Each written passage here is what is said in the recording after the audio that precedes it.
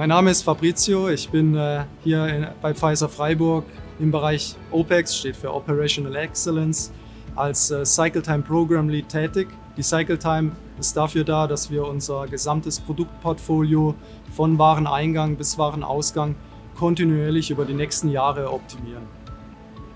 Nach meinem Studium habe ich äh, zunächst als Projektingenieur diverse Projekte bearbeitet rund um das Thema Lean Management unter anderem.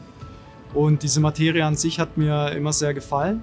Und dann habe ich äh, diese interessante Ausschreibung hier bei Pfizer in Freiburg entdeckt, was natürlich super gematcht hat inhaltlich, als auch, dass Pfizer einfach für mich schon zuvor immer sehr interessant war als Unternehmen an sich.